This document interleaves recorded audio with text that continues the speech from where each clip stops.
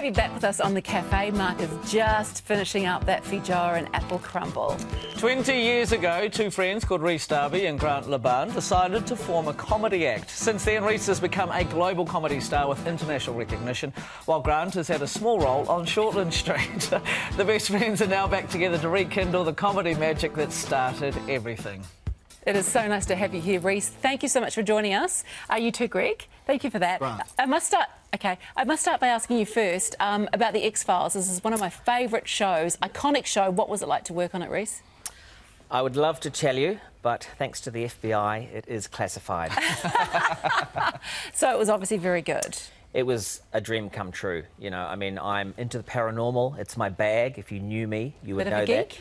I am a big geek, king of the geeks. I like to call myself. Um, actually, that's a bit much. I don't think I'm a king of the geeks. I think, Yeah, I'm, maybe a prince, well, it's, uh, maybe a, handmaiden. a serf. Yeah, a. Yes. Right. And also, because it's quite funny because you play a lizardy guy on the X Files, and you isn't that how you got your start? Somebody said you should be a comedian. You thought they were a chameleon. You said chameleon, so you were practicing your lizard moves. Yeah, yeah. When I was five, first at school, um, these little girls used to come up to me and, and I used to make people laugh, you know, either intentionally or just accidentally. And uh, these young girls said, uh, "You should be a comedian," and I didn't know what that was when I was five. So I, I went home. I told mum, um, and she said, uh, "You know, yeah, you should be a chameleon." And so then I looked that up. It was a lizard, and I went back to school and I just did impressions of lizards. I, I you know, I, I thought that's what I was supposed to be. That's you know, and years later, I mean, I became a lizard. What is all that about? You've gone full circle. So I'm pretty much, you know, the rest of my life is just gravy now. I've done it. nice. I think you've got to, you, you've got to find at the beginning what it is you're supposed to be, and then and then once you've achieved it, you know, just relax. Work towards it, right? You guys got will it. get there. Eventually. And um, Grant, you must be excited to be working with Rhys again. Sorry, excuse me. Oh, sorry. Dad, Oh, it's on now, it's live. I apologise. TV3, Grant. Does he do this a lot? TV3. Just, just tune it in. G- Settings. Oh, oh, I'm sorry. I, I apologise for Grant. He's going. You're on the phone. You got me? You got me? Oh, Auto tune. Grant. Yep. Grant. I'll, We're actually in a live. I'll put you on interview. a race. Hang on. Oh, give him here. What, what's the setting for TV3? Hello, Gordon. Don't call now. We're actually on TV.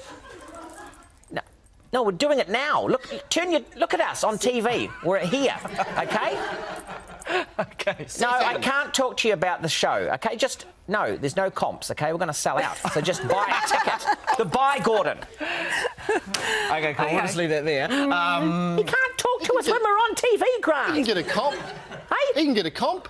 no, not these days. It's not 1996. People actually come to the shows now.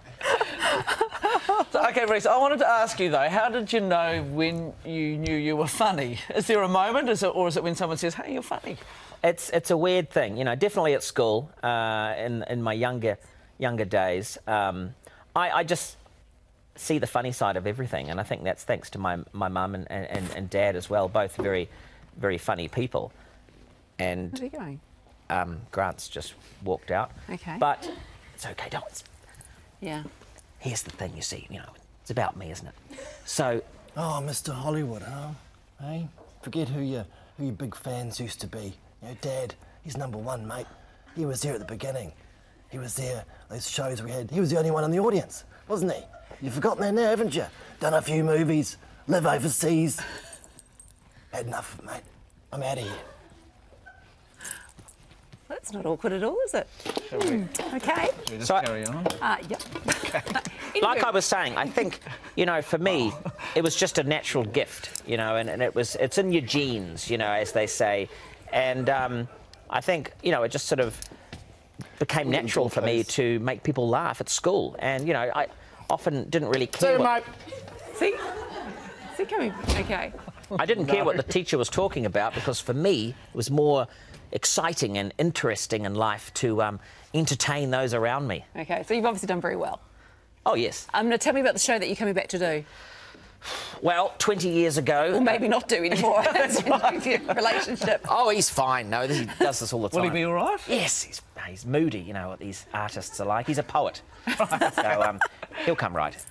20 years ago, we created this comedy duo, and it was the very first thing I did with comedy, and it was with him, and it was the essence of everything that was to become. And we had fun. There was no, there was no money concerns. There was just uh, what can we do to make each other laugh and, and enjoy each other's company and, and create at the same time. And, and of course, in recent years, I've lost all that. It's become, you know, as you get older and you've got responsibilities, Yep. mortgages, and, and money gets involved, and I've lost the true heart of what, of what, you know, made me get into comedy in the first place. I wanted to recapture that. Well, good. We're glad you're going back there. Very, very nice and really nice to chat with you now. But it's now crossover to Holly. It's okay. It's okay, Glenn. It's okay. Yeah, you'll be fine. You'll be fine. Yeah, yeah. Okay. I've got to do my other job. Sorry.